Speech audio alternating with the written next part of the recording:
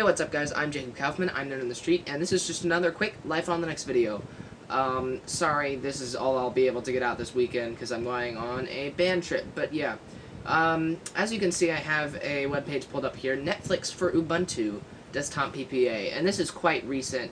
Uh, okay, maybe not as recent as I thought, but, um, you know, I, uh, my family has a Netflix subscription, and, you know, one of the biggest things about Linux is, you know, media support. This actually came to my attention when I was trying to play an encrypted DVD, or encoded, or whatever it's called, um, and I had to go and install something extra. I thought maybe I should make a video about that. I won't have time to do that today, but I will have time to do this, uh, specifically because I haven't even tried it yet. I'd like to see if this works, and you'll be here to witness it. So, yeah, as you can see, I, uh, you know, I'm logged into Netflix here, but then when I go um, and try to watch something, then uh, complete system requirements. And just so you know, when I do install um, things in Wine, then it does not work in Wine. Um,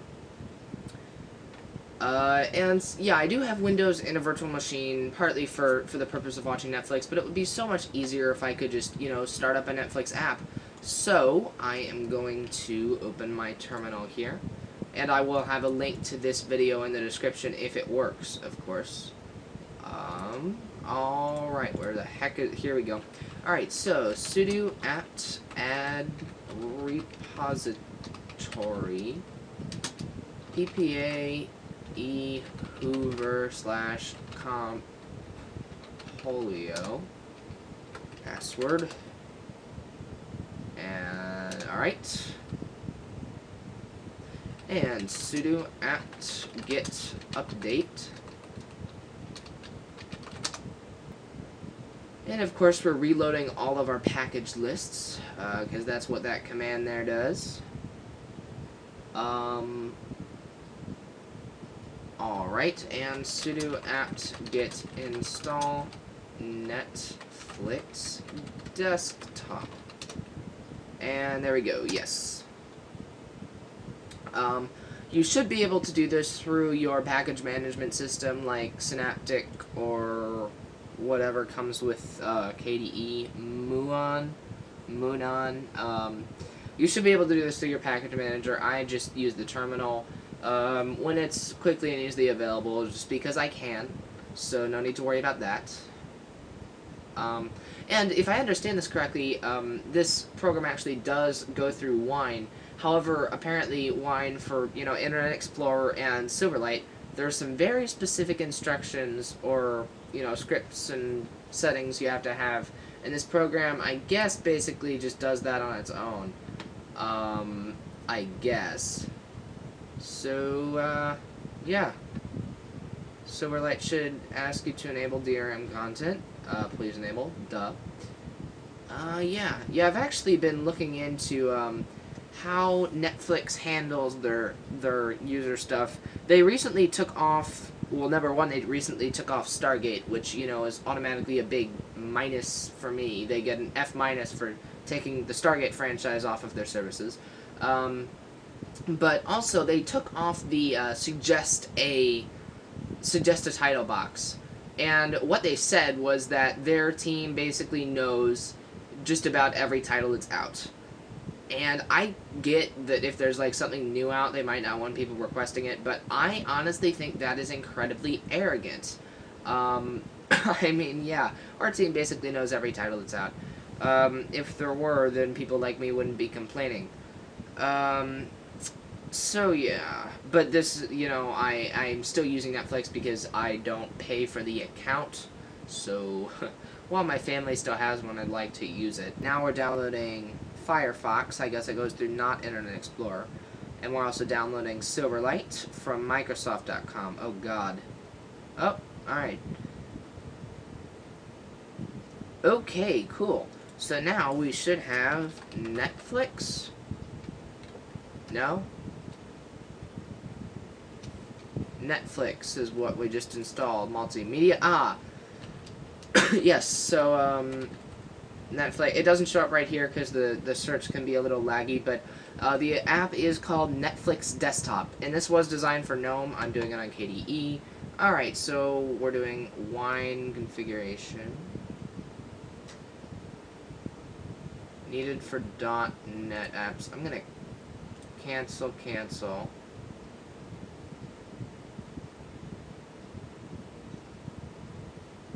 I hope I don't regret canceling twice. Because, you know, sometimes I can regret such things. Okay. Goody, looks like we're starting up anyways, even though that stuff didn't really, uh, yeah, do what we wanted it to. Alright, member sign in. Ah, wow, alright. So we are logged in. I can already tell this isn't quite as smooth. Did I just X out? I didn't mean to X out. I just wanted to get out of full screen was what I was trying to do. Oh, and by the way, this might not work because of um, copyright infringement crap. Ah, so here we have Netflix running in our Firefox within a wine uh, environment, I guess. Um, as you can see the scroll bar over here, we are within a wine environment. So, now I'm going to just, uh, The Walking Dead is, The Walking Dead is like public domain, right? Night of the Living Dead, not Walking Dead. Alright, in that case, I'll just, um, try this out here. This is not The Walking Dead, this is Psych, uh, which I don't own the rights to, but, you know, once again, this can go full screen. I You just press 11 to go to window, out of full screen, press 11 to go back to full screen. Oh, that actually works as well. And I am pleased to say that, yeah, it appears that playing is working. You cannot hear the audio because I disabled that. Just because I don't want to get shot down for copyright, and I'm not going to play in more than a few seconds, but yeah, this isn't even this isn't even too bad in terms of uh, choppiness. As you can see, the effects are a little choppy. After pausing and letting it play. Alright, so if you're like a major, um, a major, major video person, then you know you might have some issues with this. You might want to want to reconfigure some of your wine crap. But um, me, I I just want to watch you know a little Star Trek and um, no more Stargate because apparently that's not fit for Netflix. But um, I mean, yeah, this definitely works. So, so yeah. Um, that is excellent. That's very excellent. I'd like to give special thanks not to Netflix because they suck, and they've actually commented on why, like, they've had different employees saying different reasons why they don't have Netflix for Linux.